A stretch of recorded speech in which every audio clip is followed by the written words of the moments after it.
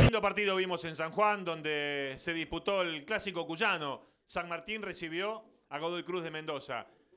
El partido estaba condimentado en la previa por dos elementos determinantes. El local llevaba en este escenario 22 partidos sin conocer la derrota.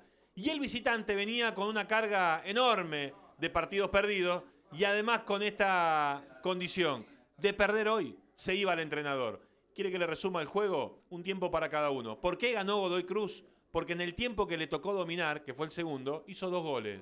El partido se repartió de esta manera, literalmente hablando, porque cuando arrancó el de Mendoza no sabía dónde estaba parado y estaba descompensado en la mitad de la cancha. Eso hizo que el cuadro de Mayor manejara la pelota, llegara a situaciones de gol y convirtió otra vez de Toledo. Así se fueron al descanso. Modificó Heinz en el segundo tiempo. ¿Sabe cómo? Bajó un delantero a la mitad de la cancha, equilibró el número y a partir de allí empezó a crecer el juego de un equipo que después, con algunas variantes como el ingreso de Díaz y de Zucchi, terminó siendo dominador. En ese periodo hizo dos goles y sobre el final, si usted busca en nuestra página, va a encontrar una acción verdaderamente interesante, algunos dirán polémica, no hubo ninguna duda, hubo una mano que le impidió al equipo de Mayor encontrar un 2 a 2 que lo hubiese hecho mantener un invicto que, insisto, tenía 22 juegos. Ganó el Tomba, ganó el equipo de Heinze, que no solamente sumó tres puntos, sino que conservó su puesto como entrenador del cuadro mendocino.